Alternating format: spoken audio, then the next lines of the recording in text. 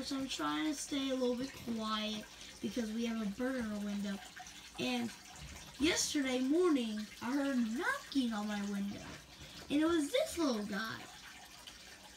Now we have a bird feeder in there, and, and usually the main one is called. eh, the main one that that comes here is a red bird. Um, we call it my bird, Carson's bird, because it, it it's the exact same one. We should call this one something. I guess bird feed got on top of there. But it, it was knocking. Now, woodpeckers not, right, guys? And the woodpecker, or not really, it's not really, it's actually not a woodpecker, it's a regular bird. When it hit, when its beak hits the bottom, I guess it's making the noise. Oh.